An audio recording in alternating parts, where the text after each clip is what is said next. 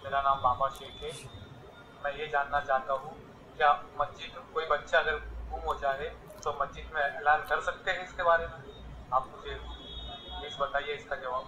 ये भाई मामा शेख हैं, जो सवाल ये कर रहे हैं कि अगर कोई बच्चा गुम हो जाए तो मस्जिद से ऐलान कर सकते कि नहीं? कि जिस किसी को बच्चा नज़र आए जिस किसी को मिले वो पहुँचा दे, ऐसा कर सकते कि नहीं?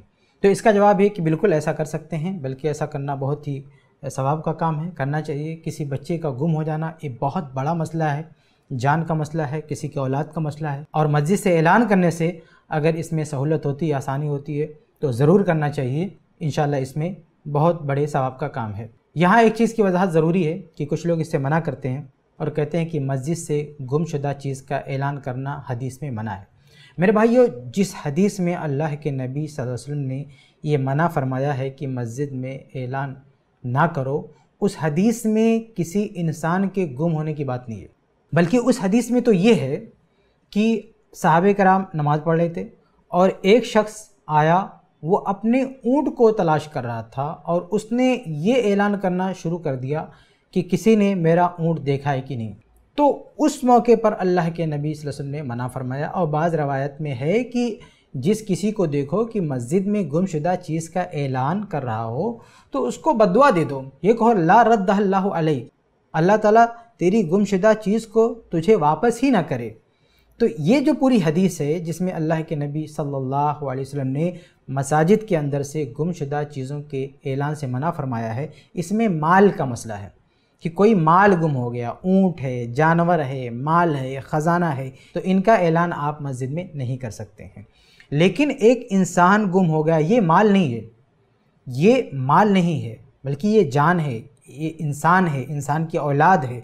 तो इंसान अगर गुम हो जाता है तो इसके बारे में कुरान हदीस में कहीं नहीं मना है कि आप उसका ऐलान मस्जिद में नहीं कर सकते। बल्कि सही बुखारी ही की हदीस है कि मस्जिद में एक औरत झाड़ू दिया करती थी। इत्तेफाक से उसका इंतकाल हो गया।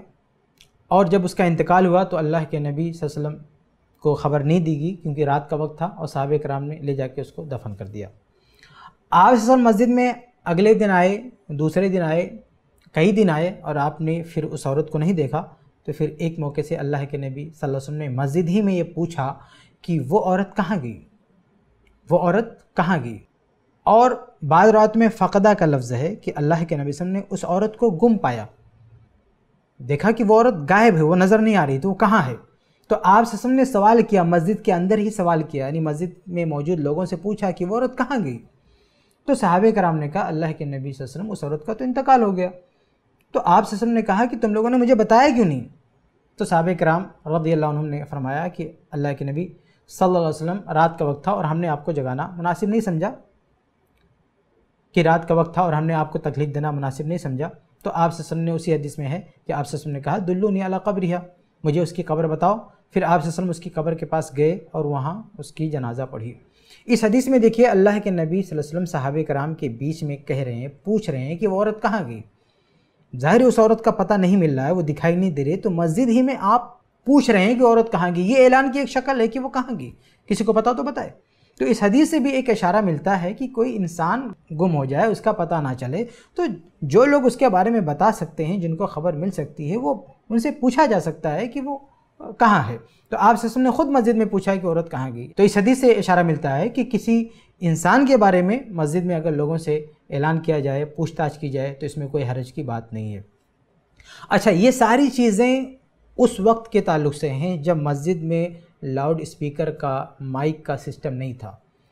यानी ऐसी मस्जिद के ताल्लुक से बातें हैं, जिस मस्जिद में माइक नहीं है लाउड स्पीकर नहीं है, लोग नमाज़ पढ़ने के लिए इकट्ठा हो रहे हैं तो लोगों का मजमा है मस्जिद में नमाज़ पढ़ने के लिए, इबादत करने के लिए। तो उनको मना किया गया कि यहाँ पे ऐलान ना किया जाए और कोई ऐलान करे तो उसके लिए बदवा दे दी जाए। लेकिन आज के दौर में मसाजिद में जो ऐलान होता है, वो मसाजिद में मौजूद लोगों के सामने नहीं होता है। बल्कि माइक से होता है। बल्कि आम तौर से जब कोई बच्चा गुम होता है तो उसका ऐलान उस वक्त होता है जब मस्जिद में कोई होता ही नहीं। यानी नमाज़ का वक्त भी नहीं होता है। मस्जिद में लाउड स्पीकर लगा हुआ है और वहाँ से कोई आदमी बोलता है कि फ़लाँ बच्चा गुम हो गया है उसकी खबर जिसको मिले वो इतला दे। तो इसमें तो कोई हरज की बात ही नहीं है। इसमें नमाज़ के वक्त की बात ही नहीं है। ये नमाज़ के वक्त के बाहर की बात है और वो भी लाउड स्पीकर से। ऐसा नहीं कि मस्जिद में मजमा लगा हुआ है, लोग नमाज़ के लिए इकट्ठा हुए उनके सामने ऐलान किया जा रहा है। बल्कि सिर्फ़ मस्जिद की एक चीज़ जो लाउड स्पीकर है, उसका इस्तेमाल किया जा रहा है और हकीकत में ये ऐलान बाहर के लोगों के लिए किया जा रहा है। इसकी आवाज़ दूर दूर तक पहुँचती है, उन लोगों को ख़बर करने के लिए ऐलान किया जाता है। इसलिए इसमें सिरे से कोई हरज ही नहीं है, कोई मुश्किल की बात ही नहीं है। इसलिए इस मामले में सही बात यह है कि मस्जिद में बच्चों का ऐलान कर सकते हैं। इसमें कोई हरज की बात नहीं है, बल्कि ये इन कार्य सवाब है। और आखिर में फिर एक बात वाजे कर दूँ कि अल्लाह के नबी सल्लल्लाहु अलैहि वसल्लम की जो हदीस कोट की जाती है, जिसमें आप सल्लम ने यह भी कहा है कि मस्जिद में अगर किसी को ऐलान करते हुए देखो तो ये बदवा दे दो कि अल्लाह तेरी चीज़ ना लौटाए। तो उसी में आप देखें, आप गौर करें कि आप ससम रहमतुल्लामीन है। पूरी दुनिया के लिए रहमत है। आप सोचें कि अगर बच्चा भी उसमें शामिल होता यानी इंसान भी उसमें शामिल होता, ख़ास तौर से बच्चा जो मासूम होता है, जो छोटा होता है, जिसकी कोई गलती रिकॉर्ड नहीं की जाती है, जो मरफूल कलम होता है, वो बच्चा गुम हो जाए और मस्जिद में कोई आके कहे कि मेरा बेटा गुम हो गया है, ज़रा बताओ तो उसके बारे में क्या हम ये कहेंगे कि अल्लाह ताला तेरा बच्चा ना लौटाए? क्या आप ये सोच सकते हैं कि नबी रहमत ये तालीम दे सकते हैं कि कोई अब गुमशुदा बच्चे को तलाश करते हुए मस्जिद में आ जाए तो आप ये कह दें कि अल्लाह तेरे लाडले को, तेरे बेटे को वापस ना करे। अल्लाह के नबी वसलम ऐसी बदुआ हरगिज़ नहीं दे सकते हैं, ना ऐसी कोई तालीम दे सकते हैं कि एक मासूम बच्चे के बारे में बदुआ दी जाए कि वो ना मिले। तो ये असल में माल से ताल्लुक़ रखता है, ना कि जान से या इंसान से ताल्लुक़ रखता है। इसलिए उस हदीस की बुनियाद पर जो हजरात कहते हैं कि मस्जिद में गुमशुदा चीज़ों का ऐलान नहीं कर सकते, इसलिए बच्चे का भी ऐलान नहीं करना चाहिए, ये गलत बात है। सही बात यह है कि मस्जिद से गुमशुदा बच्चों का ऐलान करना चाहिए और इसमें इन सवाब का काम है और किसी को इससे रोकना नहीं चाहिए। उम्मीद है कि आपके सवाल का जवाब मिल गया होगा।